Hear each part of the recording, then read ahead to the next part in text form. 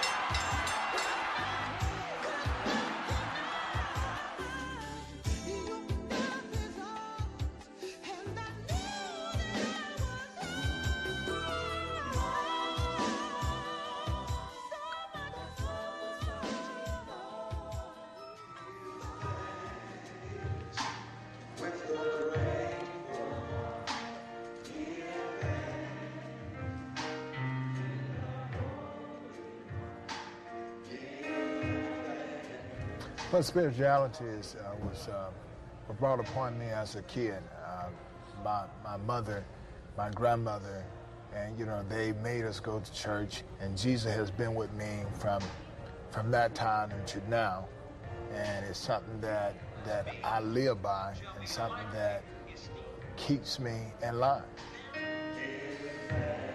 It is a summer morning at the edge of Atlanta. Evander Holyfield, the three-time world heavyweight champion, attends a Bible study session at World Changers Ministries. For Holyfield, it is his faith that gives meaning to his life. His faith strengthens and restores him. It brings him solace.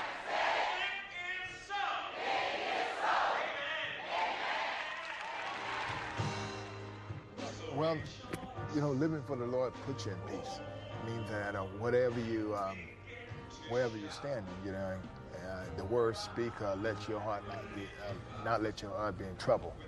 The Lord asks you not let your heart be in trouble, so that means for you to be in peace. The word of God give you peace.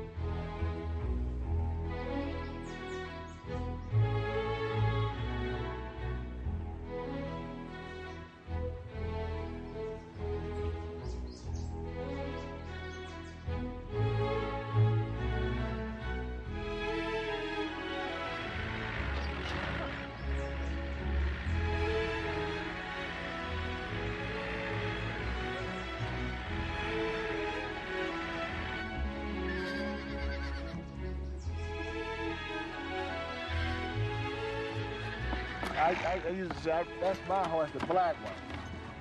I have the Tennessee walking horse. I've been thrown twice by that one. Once. I Rambo. Now, your horse is the one that was pregnant. You didn't know if Yeah. she was pregnant. I didn't even know she was a girl.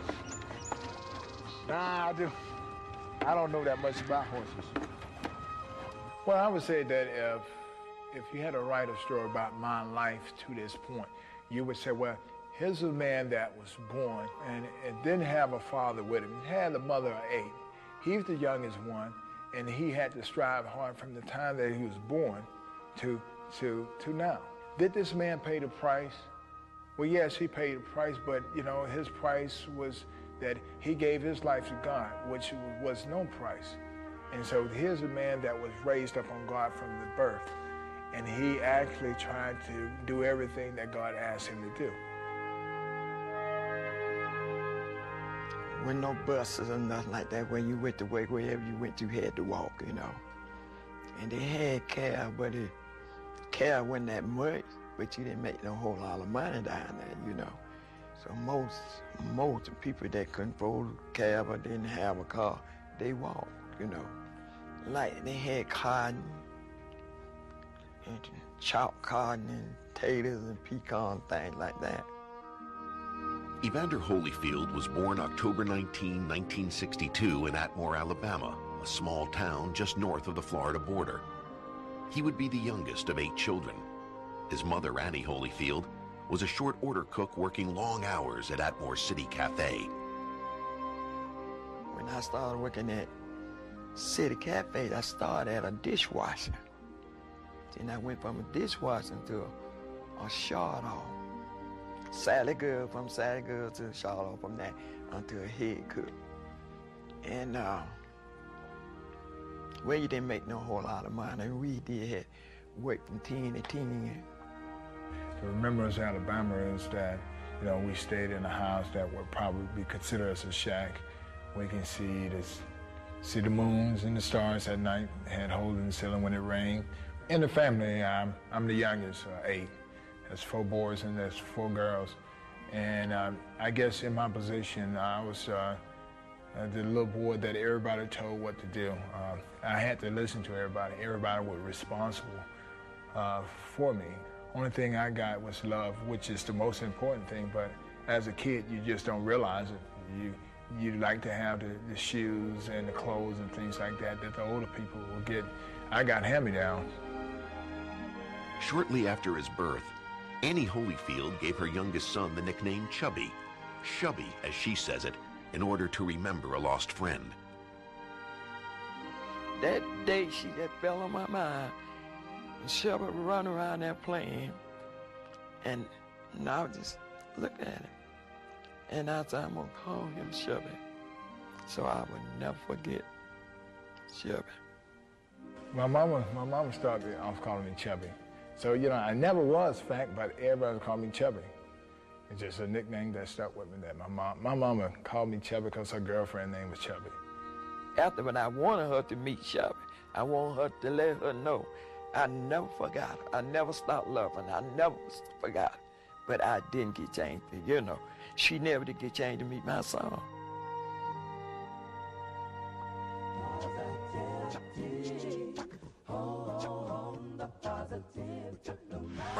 Pound's vanilla ice cream with um, chocolate, choc dipped in chocolate. Couldn't afford to get it every day, so I got it once every two weeks when I was able to save my money up. Then you can get adventurous.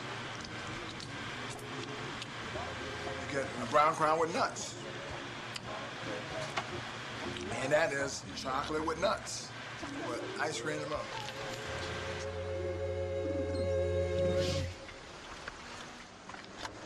Well, this, um, we are at the Fulton County Stadium, but this is the neighborhood I was raised in. This is the first neighborhood that when we moved from Alabama, we moved here when I was three years old, called Summer Hill. Young Evander was unusually energetic, frightening neighbors by climbing anything that was climbable, including telephone poles. But Annie Holyfield found a solution the Warren Boys Club. And it did work out, cause like when he went to school, go to the boy club, come home, he was too tired, you know. climbing over trees, I want to jump some fence, I want to swing on the limb, you know, things like that, you know. He was too tired to do that. He had done it all over there at the Boys Club. But to join the Boys Club at that time it cost a quarter. And um, became a member. And it cost a quarter and um, I remember getting the, money from my mom and I was all excited. I started boxing here and um, how I started boxing, I came up from the football field. I came into the gym, someone was hitting the speed bag. As you can see over there, when someone's practicing, everybody in the gym can watch. And I wanted to learn how to hit the speed bag, and I asked the coach, can I, uh, can I hit the speed bag? He said, you had to be on a boxing team. So I asked him, he said no. Every day I would come by and ask him, and finally one day he told me I could.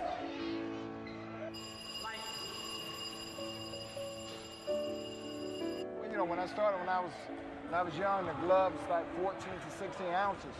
And you know, at 65 pounds, the glove kind of reached almost your elbow. And they were so heavy. And when the referees are boxing, usually the guy that get the first shot usually win because you hit the guy and the other guy start climbing. The referee will come in and stop the fight. Evander Holyfield was eight years old. His boxing career had begun. And from the beginning, his ambition and his ability was nurtured by a man who became a second father, the club's boxing coach, Carter Morgan. Morgan was drawn to Holyfield's precocious skills and his work ethic. He told Evander one day he would be champion of the world.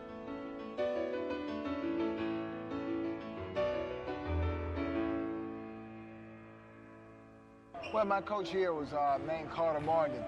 He the coach that responsible with my foundation of boxing. He's the coach that gave me the goal that to be a heavyweight champion. And he cared for me as I was his grandson. And he provided things that normally that people that didn't provide unless they were their parent. He gave me shoes, clothes. I felt that he was the person that I was missing in my life. My mother was very strong, but with this man, this man could pull the best out of me. One thing I, he taught, never ask too many questions. If you want to know how to do something, you, you watch and you pay attention, but don't ask any question. Who is you to ask questions? You ain't smart enough to ask questions yet. So, and so I would learn by watching and, you, and, and just hearing. And he would always enlighten me on things. He would always talk to me. He always said that I was different from the next person. I didn't ask questions, I just did. Didn't, didn't know the reason why I did it. But once I got older, I, I didn't have to ask him questions because I knew the reason why he should jab and throw one, two, three, and things like that. I said, he the one stood by him, did for him.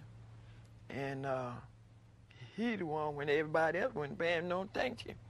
He seen what nobody else could see.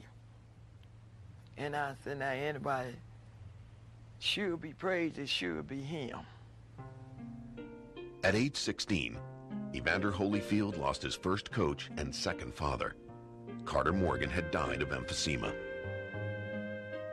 Everything I did in boxing at that point in time, I did it to please him. Because he's a man that treated me like I was a son, a son or grandson. He gave me things and he would take me out of town and he would ensure my mother that he was going to take care of me. Now this man is gone and, you know, and for a while I was just like, no, I don't have no reason to box.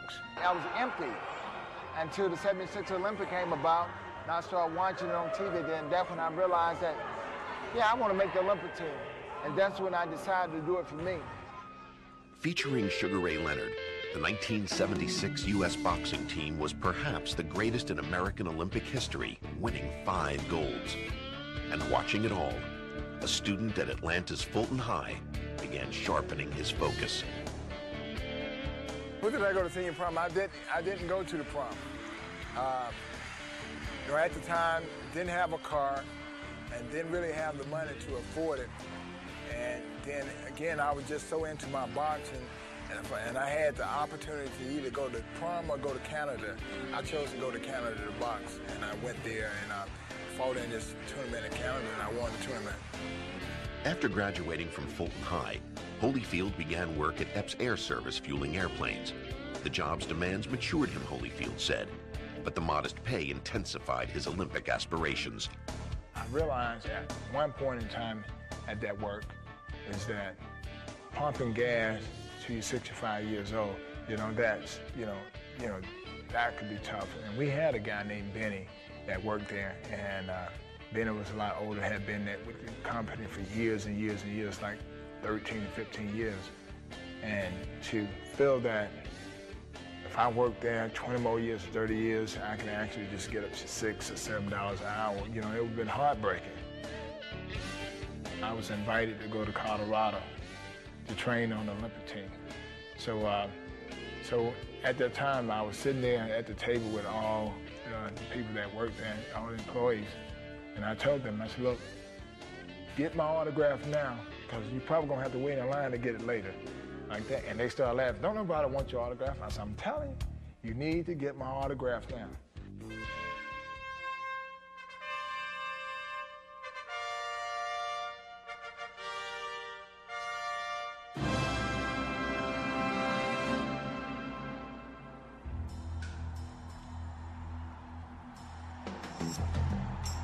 Los Angeles Olympics, Evander Holyfield, Fulton High class of 80, cruised toward the light heavyweight gold medal, easily defeating opponents from Ghana, Iraq, and Kenya. In the semifinals, he faced New Zealand's Kevin Barry, and in the remaining moments of the second round, Holyfield unleashed a pulverizing left hook. Referee was counting him out. And I was saying to myself, no, don't count him out. I want to get him out cold. This was what I'm saying in my mind. So the referee didn't count him out. He, he stopped, then he waited, then he came back and he said, next time I said, stop, stop. And I said, okay. Then he said, you disqualified. Just as the referee was ordering the boxers to break, Holyfield landed his decisive blow. Stunning many, he was judged in violation of the rules, and the decision awarded to the battered New Zealander. And they raised his hand and they parade us around the ring with his hands up. And I, I felt bad. Then in my mind, I said, no, we in the United States. They can't do this. They're going to overturn this. And I watched Howard Cosell on TV and he said, well, you know, he came on smiling and said, well, I have good news and bad news.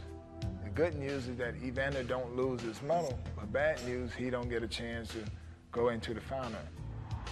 Though there was no gold medal match, it was decided Holyfield could keep the bronze he earned for reaching the semifinals. And the gold medalist from Yugoslavia was among many to express support. That really hurt.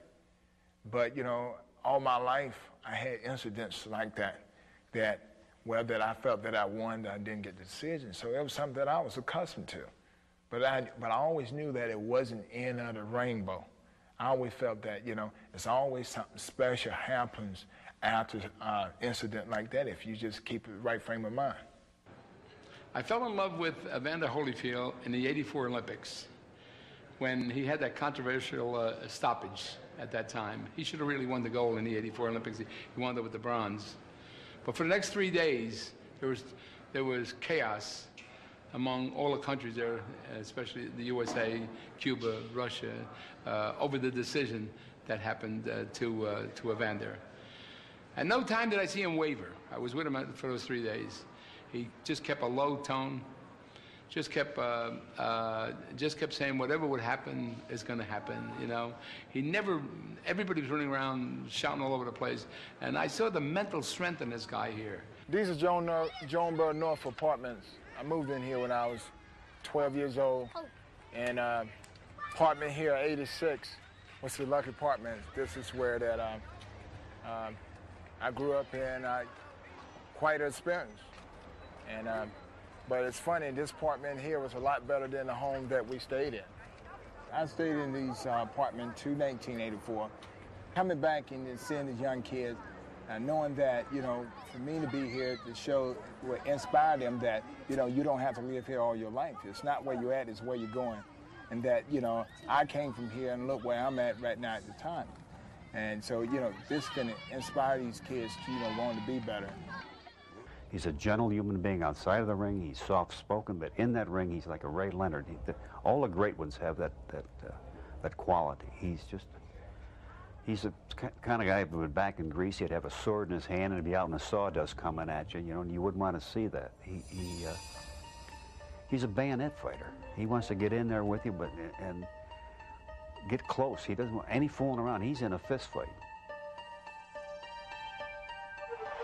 As a pro, Holyfield's rise was swift. Just two years after his Olympic disappointment, he was fighting for the junior heavyweight title. It was July 12, 1986. His opponent, Dwight Muhammad Qawi, was heavily favored.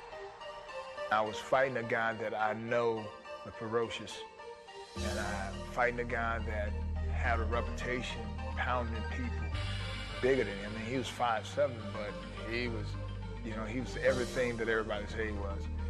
And everybody making that excuse and saying, why is they putting Holyfield in there with the toughest man at this time? He only been fighting two years. You know, I prayed and I prayed and I prayed and I said, Lord, just let me do the best that I can. Came down to the fourth round. He put that relentless pressure on me that I started tiring out.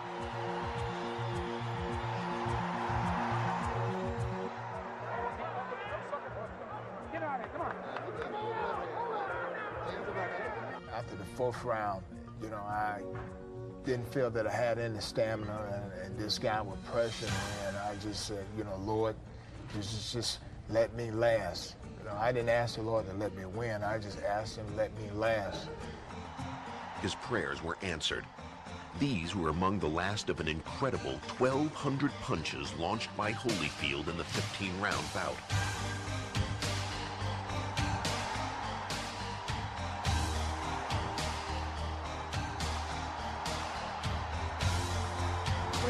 Over, it was a tough fight, and I didn't think about winning. Only thing I was saying in my mind, Lord, I'm, I just thank you for letting me make 15 rounds. It, it didn't make no difference who won the fight. Judge Quintana scores the fight 147-138 for the winner. And new junior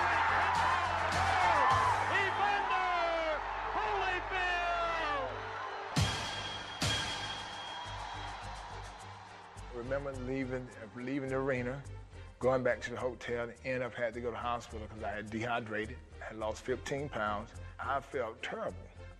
And you know, for, for about three or four months, I felt terrible.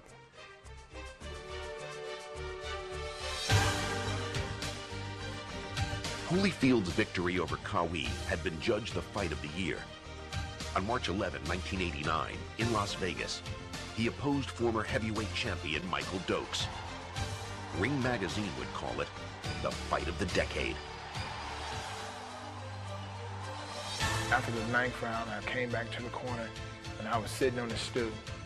And I remember my, my corner man, Ace, Ace Morales said, call Jesus. And I said, Jesus, please help me. And the bell rung. I went back and I had a new, I had a new, I felt, felt, felt like I had a little bit more energy going out in that 10th round. And he did, he made some mistakes and I was able to capitalize and I knocked him out in that 10th round.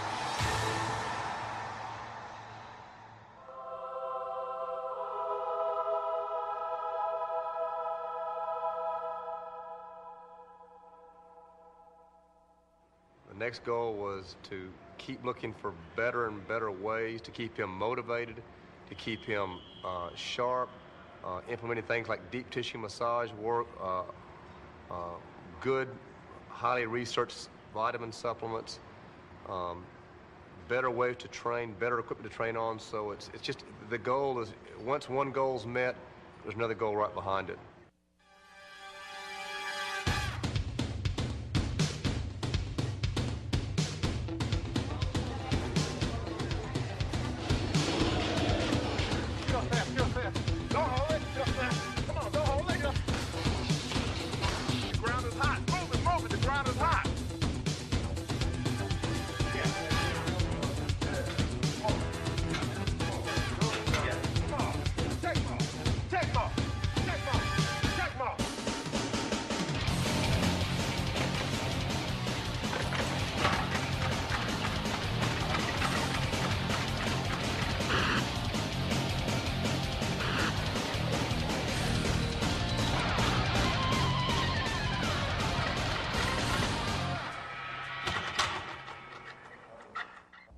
Purpose was to, to get him a heavyweight title fight, that, that Project Omega. And, I, and as I told the Duvas, when the bell rang for the first round with Buster Douglas, their project is over. It was just like a final exam. You went to school for all that time now. This one day is going to make the difference what type of person you are.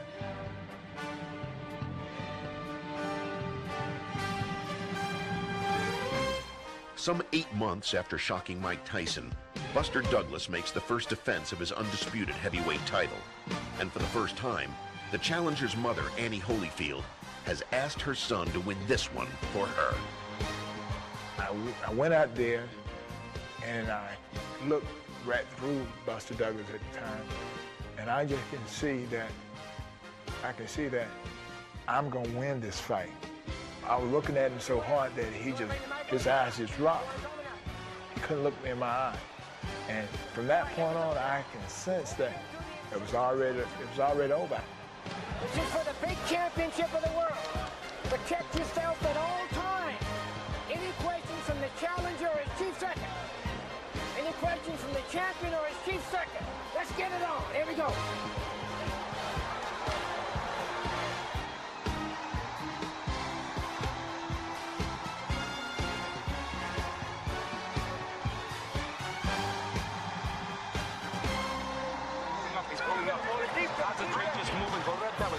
You hit him with the right hand, back with the left hook, right?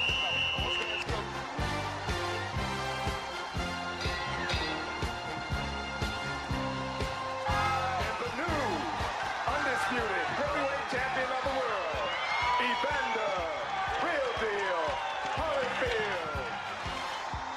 A lot of people felt that I couldn't do it because I was a small man. So this would, you know, display to the kids that, you know, if you work hard and train hard and work at anything, you could, you could be successful.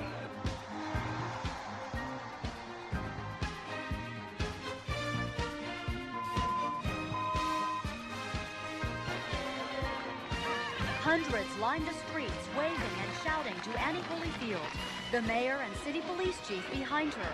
Well behind them, flanked by marching bands, the champion, Mrs. Holyfield's son, raised in an Atlanta housing project, nicknamed and still called Chubby by his mother. Today, her little boy is the pride of all of Atlanta.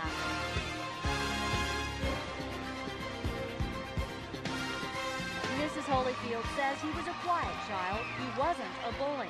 He made people laugh. He went to school. He got his first part-time job at the stadium at age 15. I, I him, you know, just how to respect everybody like he treat everybody as he want to be treated.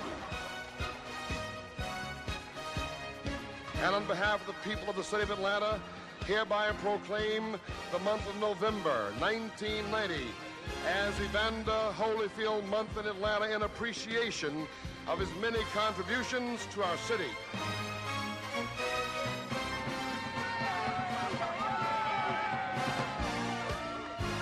Honored and lost for words, and I just want to say I love you all. Thanks.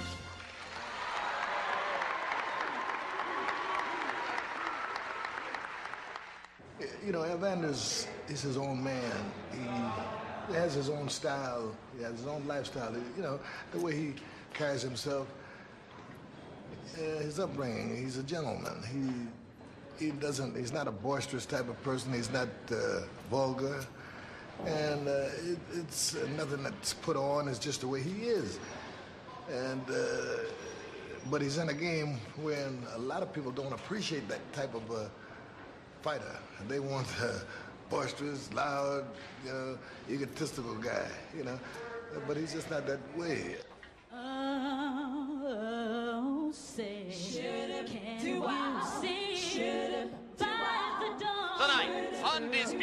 Heavyweight champion Evander Holyfield defends his title against former champion George Foreman. and the twilight's last gleaming? The challenger, Malkin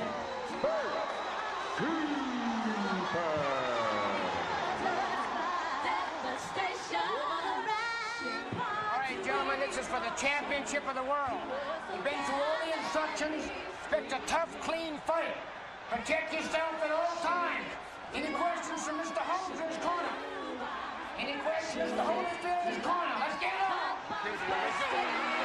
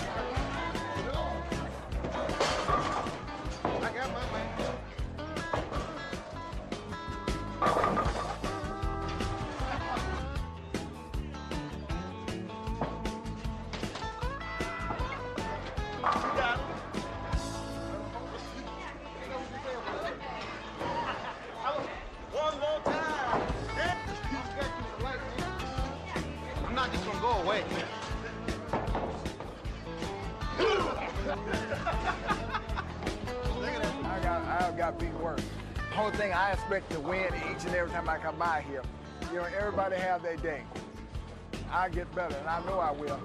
And I make them eat every word that they say.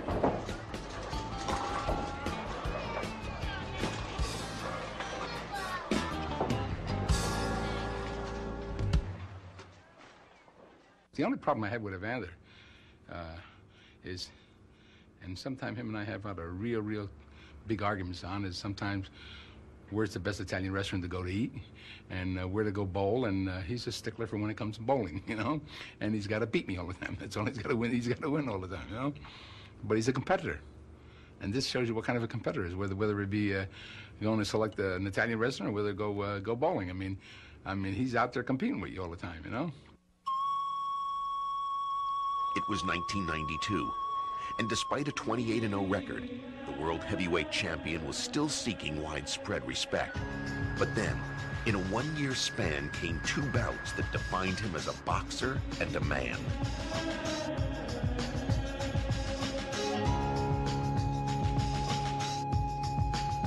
A crowd of 18,000 awaits the fourth title defense for Evander Holyfield, a defense which now becomes the biggest test for respect in his two-year reign as champion. Can Evander Holyfield beat a heavyweight who is both younger and bigger than himself? That is what we're here to find out. On the red on Bowe's trunks and the red tassels on his shoes. From time immemorial in Africa, red symbolizes royalty. Too smart, too smart, too slick, baby, too slick out there. Hand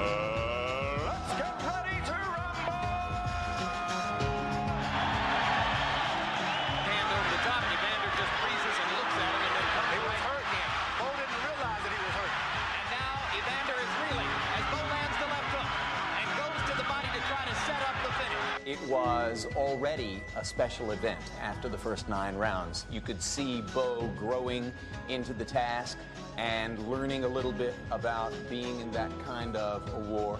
You could see Holyfield, as Evander always did, giving everything he had to the task. Going into the fight, the questions were whether Bowe had the heart or the stamina to stand up to a very well-conditioned, highly motivated, tough champion like Evander Holyfield. And for the most part, Bowe had answered those questions in the affirmative coming into the 10th round. Gentlemen, all this time, you can't understand someone being so dirty.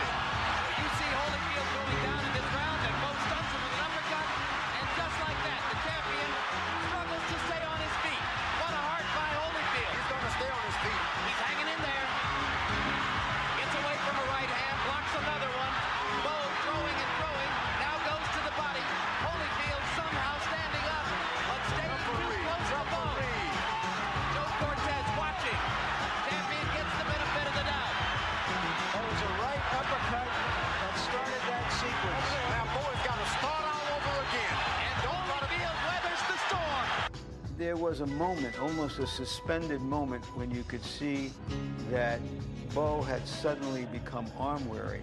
I had thoughts, and I had one foot up on the stairs.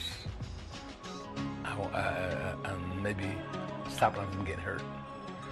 But knowing the heart of, uh, of Evander, I think he probably would have never forgave me. Bowe should be taking that kind of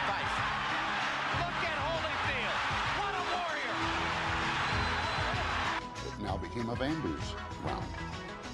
And he began rocking Riddick Bowe. So much so that though Evander had been staggered, driven into the ropes, buckled, not necessarily in that order, one of the three judges gave that round to Evander Holyfield. Reversing the tide of the battle. The champion now has Bowe wobbling. And he lands the right hand. Bowe fought the fight of his life. Whether he can ever repeat it again, I don't know. In round 11, Bowe was spectacular. Holyfield in serious trouble now. Bowe's got to be cool trying to finish him, though. There's the uppercut again. The mouthpiece is out of Holyfield's mouth.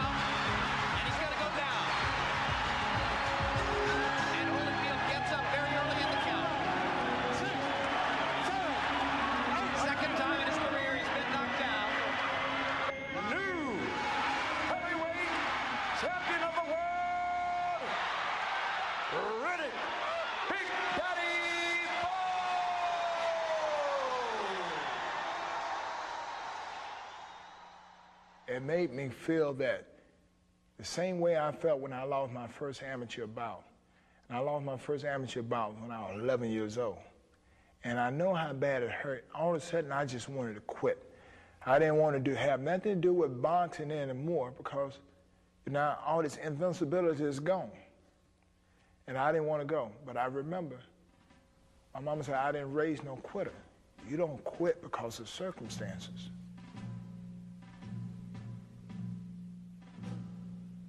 Uh, Riddick hasn't put in a whole lot of work, and when he meets up with Evander Holyfield, he's going to meet a man who's on a mission, uh, definitely out to get revenge and a vendetta. I always come back. Evander Holyfield weighs in at 217 pounds.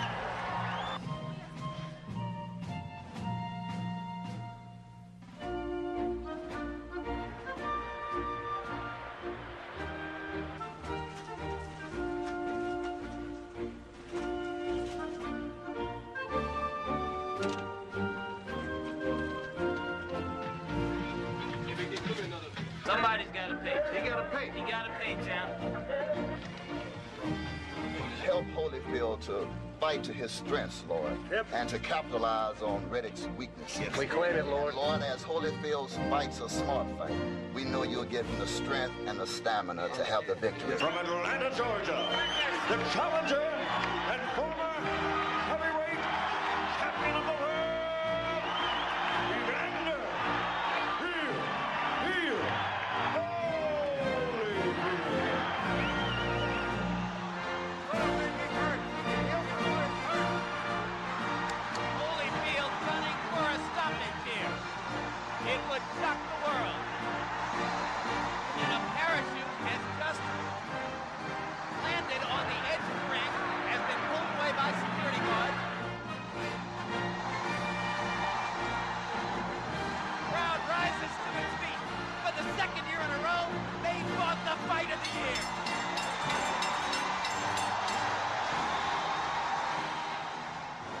by faith and not by sight. You know, I promise everybody that I will win this. And he did it like this! And he did it like this! And he did it like that!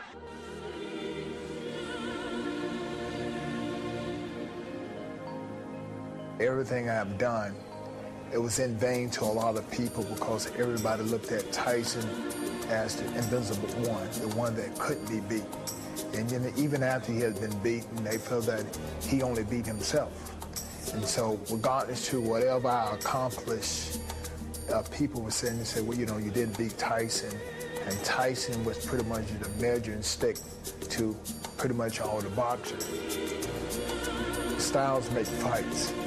And in life, the person that's flexible, the person that's able to adapt to different styles is the one gonna have a, a better run. Tyson was pretty much was a one-dimensional fighter, meaning that what he did, he did very well, but he had one way of doing it. If anyone could withstand the pressure he put on and was able to bag him back, then Tyson wouldn't be able to change. I would have to say, after all the fights that I ever fought in my life, that had to be one of the most complete fight I ever fought. My mind never wavered from the first round to the 11th round till I take him out. I was focused and I was able to follow a game plan, and you know, I was able to just thank the Lord for what He allowed me to do. And people looking, they said, "What you mean by led by the Spirit?" And see, and people don't realize that when you're led by the Spirit, God only allow you to be the best that you could be. You know, when you choose to believe yourself, then you you got it going on. But if you have to count on other people to believe in you, they they railroad you from your belief because people love to say what one can do. You know, I love what I'm doing, and I can win that way. And people say, nah, good guys finish last, but they got an opportunity to see the whole world that good guys don't finish last. People with determination, whether they're good or bad, can be winning if they just work hard and never give up. One thing I know, you go, you don't have to go nowhere to learn bad things. Anything good, you got to work at it. I love my daddy.